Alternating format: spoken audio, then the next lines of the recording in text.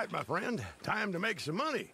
There's another batch ready to go. Sure feels good. It wasn't easy. I've cut myself so many times, it's a miracle I've got any blood left in me. anyway, got a local buyer lined up, so should be an easy run for you.